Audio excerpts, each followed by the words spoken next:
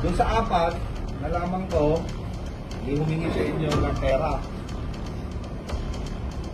Tigpa 500 pesos. Oh. Di ba, kabiling-bili lang ko sa inyo, walang manghihingi. At hindi pwedeng hati-hati ang SAP, di ba? Di ba, Beleng? At kaya kanina, Loloy, tinanong kita, wala kang hiningan, di ba? Okay. Ano si nanay? O, di ka nanay. Magsalita ka. Apo. Nangingi po siya ako ng 500. Kasi sabi niya po, siya na, sabi ko po sa kanya, ito po yung 500. Binigay ko na kanya. Sino po? Sinuloy po. Sino po si Loloy? Ito po. O, yan. Kayo po nagbigay sa kanya ng 500. Opo, 500. Eh, bakit po siya nanghihingi ng 500 sa'yo? Hindi ko po alam, basta nangingi lang po sa akin ng 500. Bakit? May kinalaman ba siya sa pagbibigay ng form ng shop? Eh, wala naman siyang kapungkulan sa barangay, ah. O, sino po yung isa? O, si nanay. Sige nanay, magsalita po kayo. Huwag kayo matakot, ha? Magsalita po kayo. Yun nga po, Oh. binigyan ko po sila ng tigpa 500. So, pero si Wilma, sinuli niya kahapon yung... Tigpa 500. Opo. Sino po yung isa? Sinuloy po. Sino po yung isang pe- kumuha ng 500? Siya po. So, dalawa po sila? Opo. Sinuli ko po yung Yung, Hindi issue rito kung sinuli mo. Ang issue rito, ba't kayo nangihingi ng 500?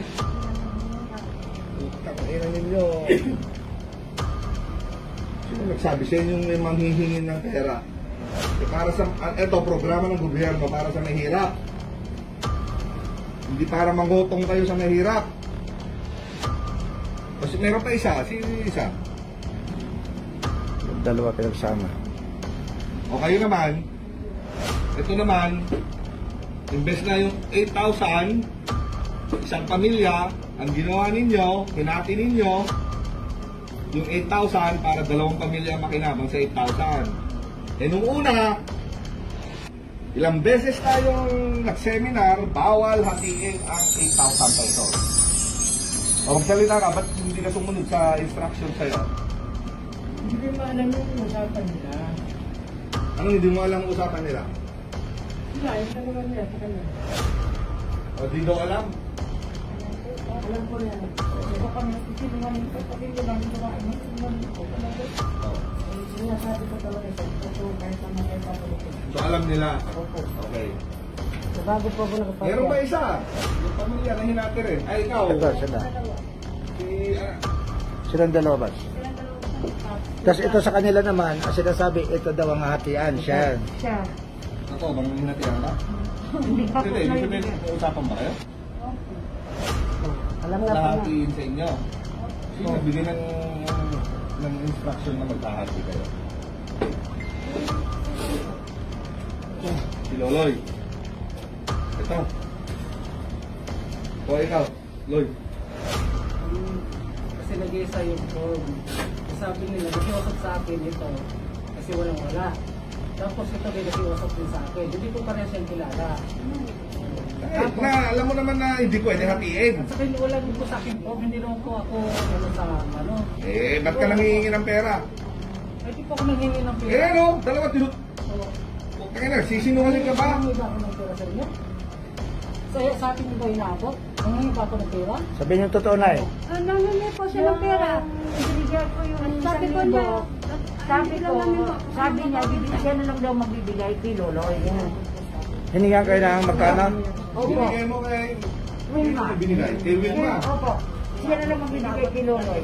Yung 1,000 binigay mo kay Wilma para tigpa 500 sila ni Loloy. Opo. Binigay mo ba kay Loloy yung 500? Nasa kanya po. Binigay mo. Opo.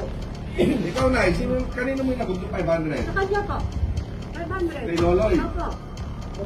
O ikaw, Loy, sisinungaling ka pa. Eh, may Ito, kasi ang, Oh. ang ano nito sa akin, Doy, wala ka namang ano, bigyan ko sa iyo pag nirinda yung mga ano, kasi kami nga doon sa gate na yun na ano, pag may pera naman pumapasok, sinusulat ko sa ano, sa pagbantay. Hindi naman ako nangingi para sa akin. Eh, tumanggap ka, ibig sabihin. Opo. Hindi lang hingi, eh, binigyan ka, tumanggap ka. Iisa lang yun. Ibig sabihin, nagsasamantala kayo.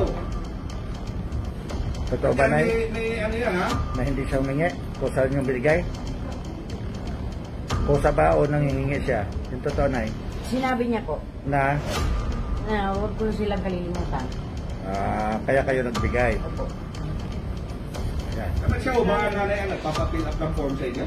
Opo. Siya mismo? Ang, ang, Ano po ba ang sistema? Bakit, bakit siya makakahingi ng 500 sa inyo? kasi nung una, Hindi naman siya autorisado ah. Siya ba ang nagpapapill up ng form? sila ang nagpapill up ng form namin. Siya, siya ho mismo?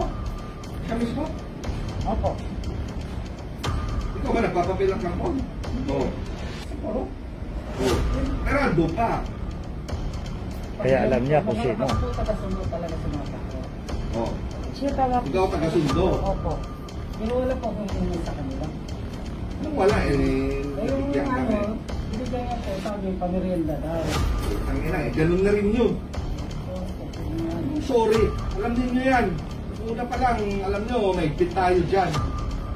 Alam niyo, kaya hindi lang sa purok kami umaasa ng listahan ng ipapasok sa SAP.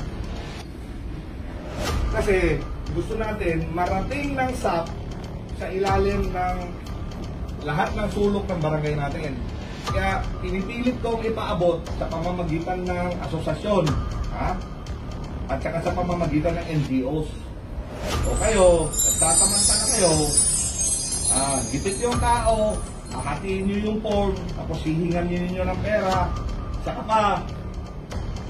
Sino, ano ka ba sa barangay? Nagtataka ako, bakit kayo, ah, pwede kayong manghingi ng pera? Wala kayong karapatang manghingi ng pera at saka dapat hindi kayo manghingi ng pera. Gusto ko na isambahan natin ang kaso sila. Gusto ko makulong din ngayon, ngayon, ngayon oras mismo na to. Dalawa kayo.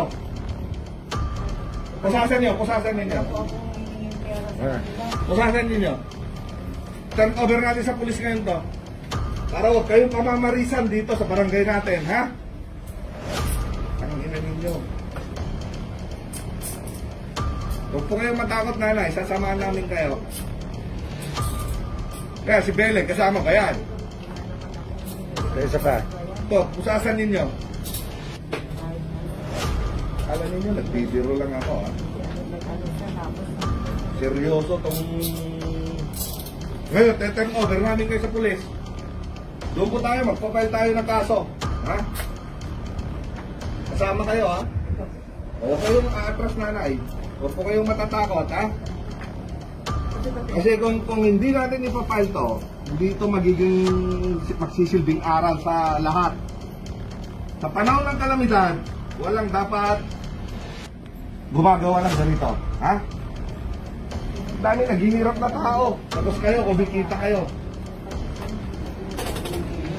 Yun yung binigay sa akin sa bahay namin eh. Mga sabi ko, sekreto. Ganon din yun. Nagkatatanggap.